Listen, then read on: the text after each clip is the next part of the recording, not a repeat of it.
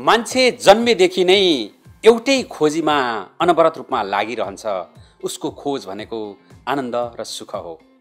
कहिले ऊ कुनै अरूलाई दुःख दिएर आनन्द लिन चाहन्छ कहिले ऊ अरूसँग भएको कुरा सिकेर जानेर आनन्द लिउँ ठान्छ कहिले ऊ देश छोडेर आनन्दित हुन्छ कि भन्ठान्छ कहिले भेष परिवर्तन गरेर पो आनन्दित हुन्छु कि भन्छ कहिले केस परिवर्तन गरेर पो आनन्दित हुन्छ कि भन्ठान्छ कहिले जीवनसाथी परिवर्तन गरेर पनि आनन्दित हुन्छु कि भन्ठान्छ कहिले म के गर्दाखेरि आनन्दित हुन्छु होला भन्ने सोचेर ऊ आनन्दित लिन चाहन्छ? तर मानिसहरू हेर्नुहोस् त संसारका यो पृथ्वीमा कति जन्मे कति जन्मिँदैछन् कति मरे कति मर्नेछन् ती सबैको केन्द्रबिन्दु भनेको चाहिँ सुख र आनन्दमै वरिपरि घुमेको देखिन्छ हेर्नुहोस्। तर वास्तवमा मानिसले त्यो सुख र आनन्दलाई सही रूपमा पहिचान गर्ने हो भनेदेखि ऊ आफै भित्रबाट आनन्दित हुन सक्छ। त्यसैले नै भन्ने गरिन्छ वैदिक वाङमयमा एउटा शब्द छ सतचित आनन्द। सच्चित आनन्द भनेको त्यो कहिल्यै नसकिने आनन्द नै सच्चित आनन्द हो। जुन आनन्द नै वास्तविक आनन्द हो मान्छेले अरूबाट प्राप्त गर्ने आनन्दहरू क्षणिक आनन्द हुन्। जस्तो तपाईँ कोही मान्छे एउटा नसा पिउँछ भने त्यो नसाबाट प्राप्त हुने आनन्द केही घन्टाको लागि अथवा केही दिनको लागि रहला र त्यस पछाडि त्यो नसाले छोड्न साथ ऊ फेरि पुरानै अवस्थामा आउँछ। फेरि पुरानै कुरा संसारको काँडाहरूले संसारका वियोगहरूले संसारका दुःखहरूले उसलाई झन् कटकटी खान्छ हेर्नुहोस्। तसर्थ त्यो पनि अस्थायी आनन्द भयो। र अस्थायी आनन्दले कहिले पनि सुख दिँदैन। त्यस्तै अरूलाई दुखाएर अरूलाई ठगेर कष्टमा पारेर अरूलाई हिन्ताबोधमा पारेर गरिएको आनन्द पनि त्यो आनन्दले पनि उसलाई क्षणिक आनन्द दिए पनि त्यसले उसलाई कष्ट पारिरहेको हुन्छ। किनभनेदेखि कर्मले कहिल्यै पनि छोड्दैन मान्छेलाई। बर्मा गए पनि कर्मसँगै अनि नेपाल गए कपालसँगै भने जस्तै कर्म नेभर फर्गेट युर एड्रेस कर्म भनेको त एउटा फ्रुट्स हो तपाईँले जे गर्नुहुन्छ त्यही प्राप्त हुन्छ। त्यस कारण त्यसबाट पनि आनन्द प्राप्त हुँदैन। जब मान्छे कसरी प्राप्त हुन्छ त हरेक मान्छेको सोच छ। तपाईँले हरेक मान्छेहरू कोही सम्प्रदायमा लागेर ध्यान गरिरहेका छन् पूजापाठ गरिरहेका छन् कोही धर्म परिवर्तन भनेर सम्प्रदाय परिवर्तन गरिरहेका छन् तर जहाँ गए पनि ती मान्छेहरू हिजोभन्दा आज आजभन्दा भोलि सन्तुष्ट बन्दै जानुपर्ने थियो। हिजोभन्दा आज राम्रो आजभन्दा भोलि विवेकशील बन्दै जानुपर्ने थियो। तर मानिस हेर्नुहोस् त तपाईँको युग युगबाट तपाईँ मापन गर्दै आउनु हो भने मानिसहरू हिंसामा पर्दै गइरहेको युगहरू यो पछिल्लो चरणमा छ। जब मानिसहरू भौतिक उपलब्धिको चुलीमा पुगिरहेको छ तर पनि उसको त्यो प्राप्ति छैन। तपाईँले मास्लोको पिरामिड हेर्नुभयो मास्लोको थ्योरी भने पहिलो मान्छेको आधारभूत सिद्धान्त उसले पास प्राप्त गरिसकेपछि दोस्रो तेस्रो चौथो गर्दै मान्छे नेम फेमतर्फ जान्छ। र त्यस पछाडि के त त्यो त्यहाँ तपाईँले भेट्न सक्नुहुन्न। पहिलो आधारभूत आवश्यकता मान्छेलाई घाँस बाँस कबास सहवास। जब यति कुरा उसले जोड्छ बिस्तारै उसलाई पद प्रतिष्ठातर्फ लाग्छ। पद प्रतिष्ठातर्फ भयो उसलाई नेम अनि चर्चा हुन थाल्छ कमाउन थाल्छ। त्यो पनि प्राप्त भयो फेरि पनि ऊ आनन्द हुँदैन। संसारमा हेर्नुहोस् आएका तपाईँ विभिन्न धन्याडीहरू त आनन्द हुन्छ नि। गरिबले लाग्न सक्छ ओहो धनी भइयो भने पो आनन्द हुन्छ त। धन नहुन्जेल त उनी यो दुःख भन्ने लाग्छ। तर तपाईँ हेर्नुहोस् त टु थाउजन्ड नाइनमा गरिएको एउटा सर्वेक्षण अनुसार संसारका बिसजना धनीहरू बिचमा गरिएको एउटा सर्वेक्षण थियो। त्यो सर्वेक्षणमा संसारका धन्याढ्यहरूको अन्तिम समय कसरी बित्यो त? भन्दाखेरि जसरी रिसर्चमा एउटा अनुसन्धानमा लिएका धनाढ्यहरूमध्ये नौजनाले आत्महत्या गरेको अनि त्यस्तै गरेर तिनजनाले अरूद्वारा मारिएको र त्यस्तै गरेर अन्य बाँकी स्ट्रेस र तनावमा पर मरेको देखिन्छ हेर्नुहोस्। तपाईँ हेर्नुहोस् न नाम दाम र समसान सबै कुरो भइरहेको माइकल ज्याक्सनको अन्तिम अवस्थालाई हेर्नुहोस् त। उनीसँग काम सबै कुरा थियो। उनले बोलाउँदाखेरि एक हप्ताकै समय बोलाउँदाखेरि पनि उनको कन्सर्टमा करिब एक मिलियन मान्छेहरू एकैचोटि थुप्रिन सक्थे। त्यस्तो धेरै क्षमता भएको मान्छे। धन सम्पत्ति कुरै नगर्नुहोस्। उनको दस बाह्रजना डक्टरले त उपचार गर्नको लागि निजी उनीहरूको डक्टरहरू थिए उपचारको लागि। र त्यस्तै गरेर अन्य कुराहरू उनले रोजगारै दिएका मान्छेहरू एउटा उनी आफैमा एउटा संस्था बनिसकेका थिए।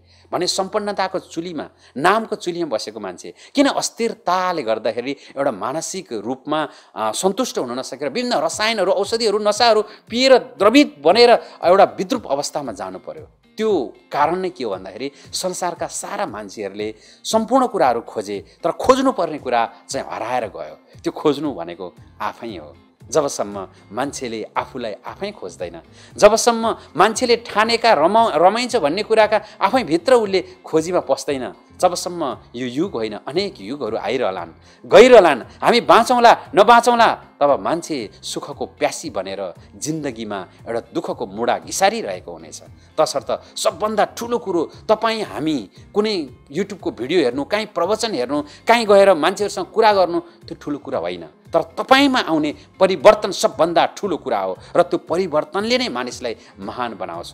हिजो ढुङ्गे युगमा ओडारमा गिट्ठा र भ्याकुर खोज्दै हिँड्ने मान्छेहरू आज चन्द्रमामा गएर बस्ती बसाउन थालिसके। हो त्यो भौतिक उपलब्धि एउटा उत्सुकताले नै मानिसको जीवनको एउटा नयाँ प्रगति पथमा डोर्याउँछ।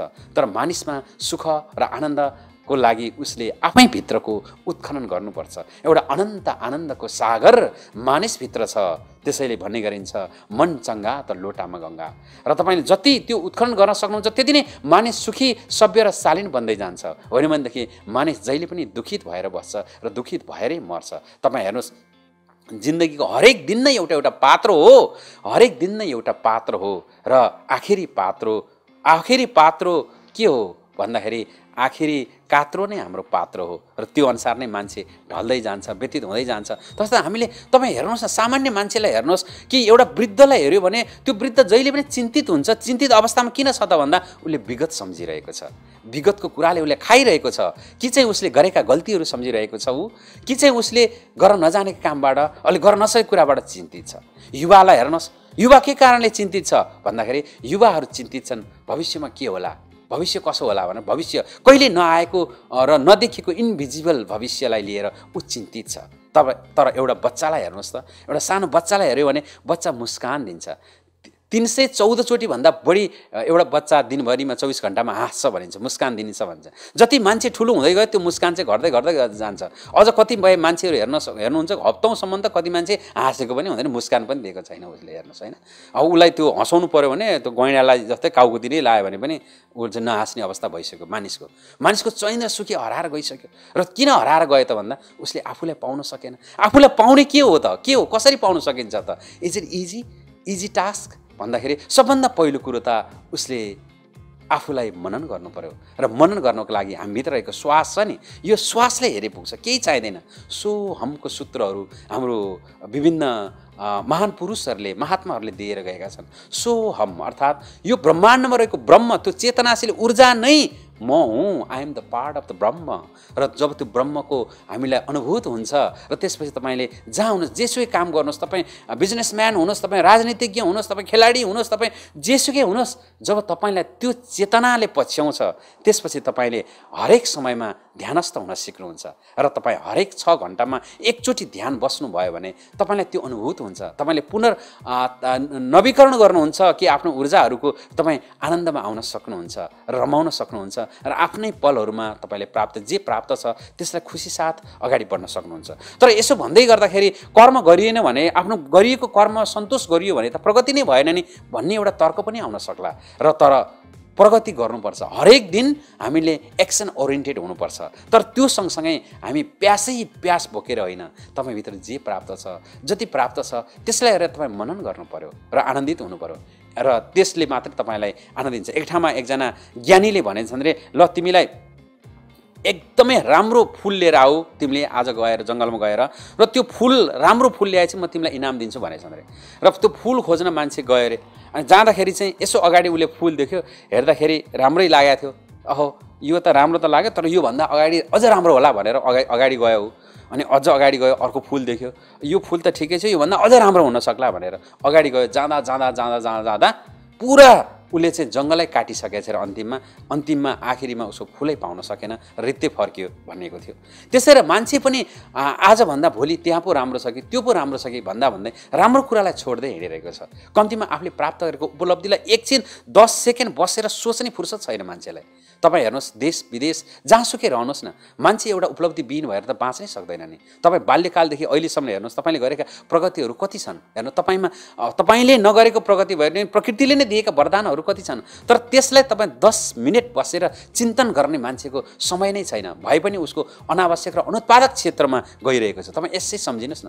एउटा मान्छे नाङ्गै आयो एउटा मान्छे नाङ्गै ऊ द्रव्य बिना अथवा उसित केही पनि छैन म दुःखी भएँ भनेर आयो भने पनि हेर्नुहोस् त त्यो मान्छेसँग मिलियन ट्रिलियन डलर त्योसँग छ। तपाईँले त्यसलाई भन्न सक्नुहुन्छ। हेर मान्छे सबभन्दा पहिलो त तिमीले मैले बोलेको सुन्न सक्ने मैले बोलेको यो भाषालाई तिमीले अनुभूत गर्न सक्ने क्षमता छ। त्यो क्षमता मिलियन डलर्सभन्दा बढाइ बढीको हो।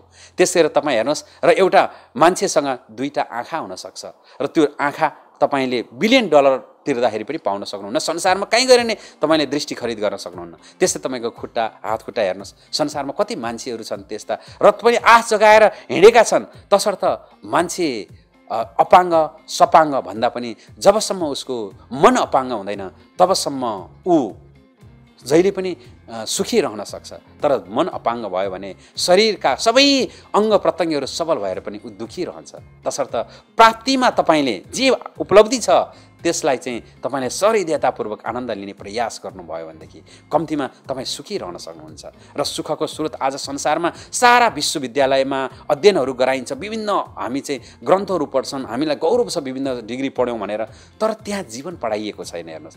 त्यो जीवन पढाउने शिक्षा संस्कृति हाम्रै भूमिमा थियो हिजो तर आज ओझेल परेको छ। तर तपाईँ हामीले जहाँ जहाँ छौँ जसरी सुनिरहेका छौँ त्यो कुरालाई पुनर्जीवित गर्नुपर्ने बेला आएको छ। र आफैले सबभन्दा पहिले जीवनमा पालन गर्ने जीवनबाट तपाईँले अरूलाई प्रभाव पार्दै अरूलाई पढाउन सक्नुहुन्छ।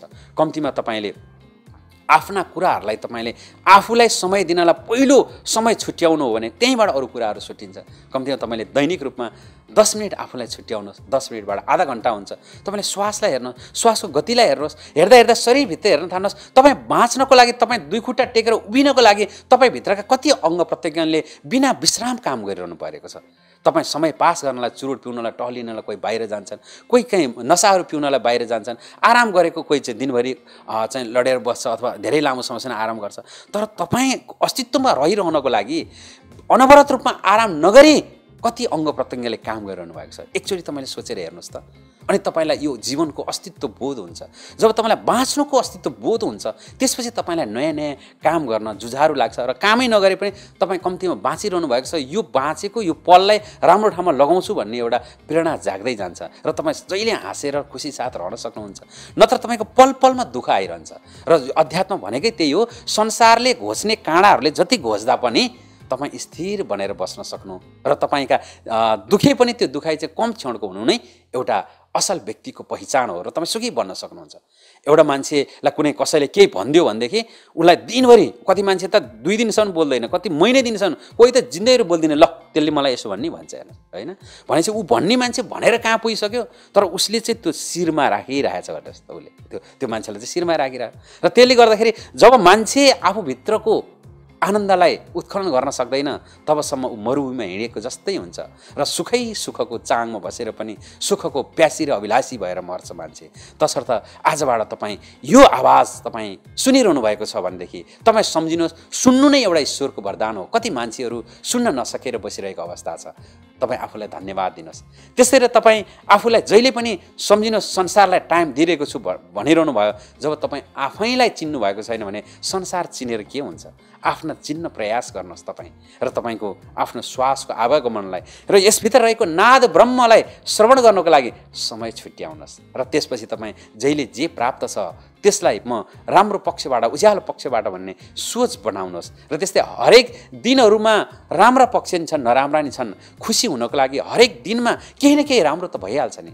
हरेक दिनमा सधैँ राम्रो नहुन सक्छ।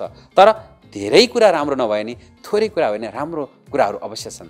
तिनलाई सूत्रपात गरौँ र तपाईँ हामी जहाँ बसे पनि ध्यानलाई नछोडौँ बिना ध्यान नआवै ज्ञान भन्छन् हिन्दीमा।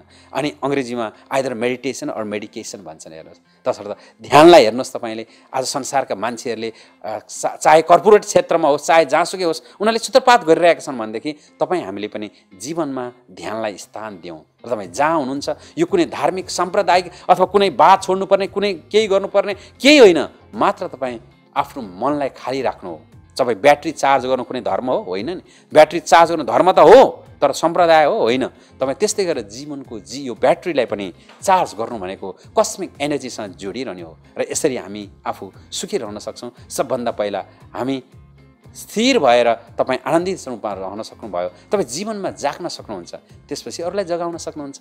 र हामी सबैको जीवन सुन्दर रहनेछ। हवस् त तपाईँको जीवन सुन्दर रहोस् सबैको जीवन सुन्दर रहोस् र हामी सबैजना यो धरतीमा बाँचुन्जेल एउटा उदाहरणीय कर्म गरेर नभए पनि हामी आफैमा सन्तुष्ट रहेर बाँच्न सकौँ। ओम भवतु सब्ब मङ्गलम ओम भवतु सब्ब मङ्गलम नमस्कार।